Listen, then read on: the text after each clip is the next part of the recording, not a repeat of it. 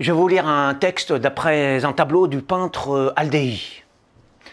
L'oiseau en cage euh, a ouvert sa porte et enfin libre déploie ses ailes avec euh, le monde entier pour témoin. Il ne lui a fallu qu'un souffle pour euh, briser ses chaînes et un unique sourire pour se maintenir en vol. Le voile du cygne est tombé pour ne faire apparaître que sa beauté. Qui osera le lui remettre? Cette fille qui nous regarde veut juste respirer, ne réclame que la lumière du jour sur sa face, ne demande au ciel et aux siens que la joie de vivre. Où est le mal?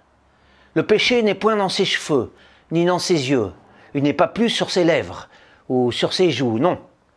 Il n'est que dans les ténèbres et l'ignorance, dans les âmes lourdes et les hommes sombres, dans les vues opaques et les lois obscures. Elle est née femme sur cette terre de toutes les pesanteurs, avec trop de grâce et de légèreté en elle pour prendre son siècle au sérieux. Elle sait que le bonheur n'est pas loin, à deux doigts du présent, derrière ce simple masque que la tradition lui impose. Elle a osé rompre mille ans de silence.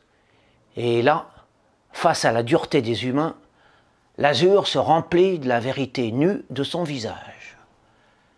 Elle n'est que pureté, douceur, sérénité.